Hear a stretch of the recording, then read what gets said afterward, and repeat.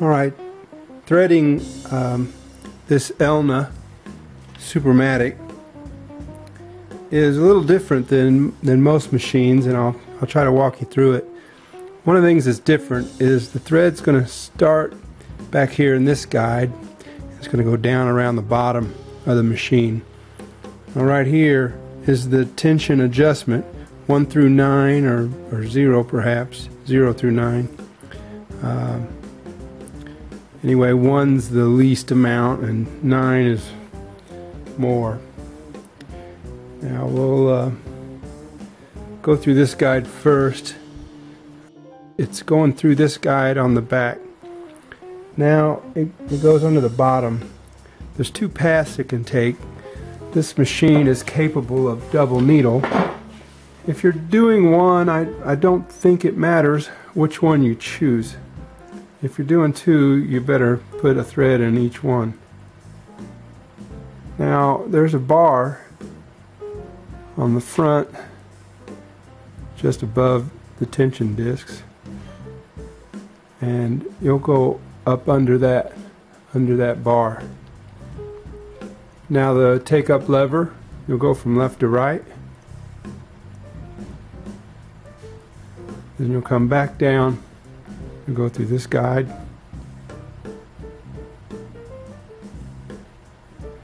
Then there's a guide at the bottom of the needle bar, top of the needle, bottom of the needle bar.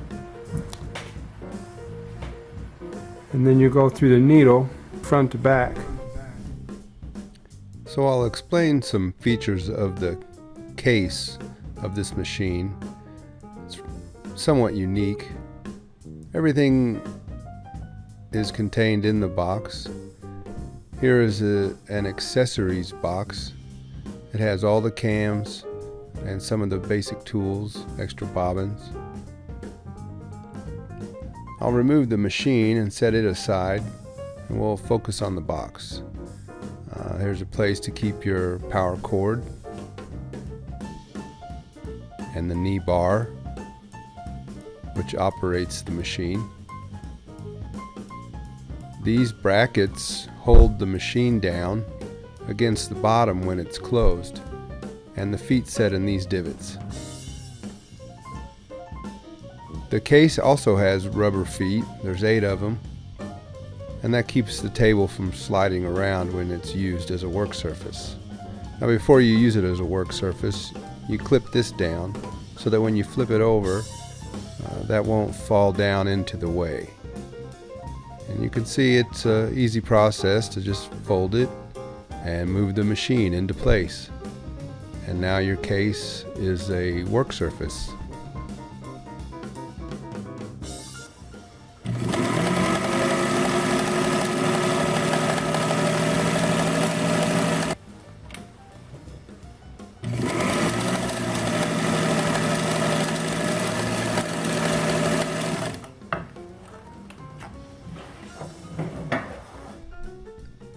This machine has an assortment of cams.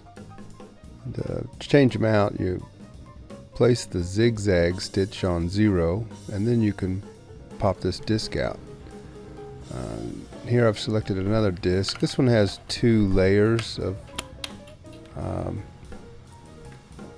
control on it. So if you put this switch into automatic, and I've got the zigzag on full wide, you can see here that the material actually moves forward and reverse in order to accomplish the stitch that this disc um, is set up for.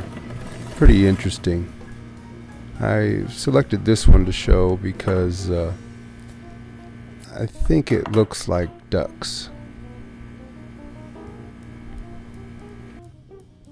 Now I've sped this portion of the video up it does take some time, but uh, a machine like this with needle positioning forward and reverse can sew a buttonhole manually. Now I marked uh, my sample and uh, I start with the needle on the left and I go reverse and then I center my needle and widen the stitch and do a tack And now I've got my needle on the right. And I've stitched the other side of the buttonhole. And then recenter my needle and do the final tack. And there you have a buttonhole. And now I'm just lining it up to cut it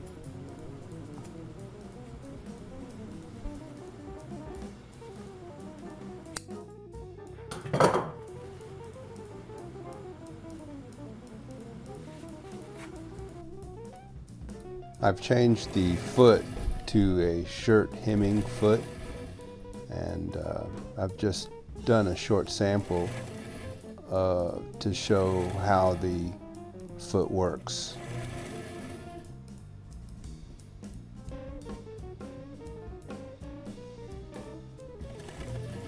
It's hard to see here so I'll show you a photo.